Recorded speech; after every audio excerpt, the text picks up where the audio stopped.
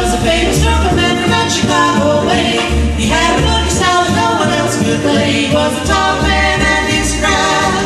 But then his number came up and he was gone with the draft. He's in the army now, a blowing reveille. He's the boogie woogie man from our company B. I made him blow up man before his Uncle Sam.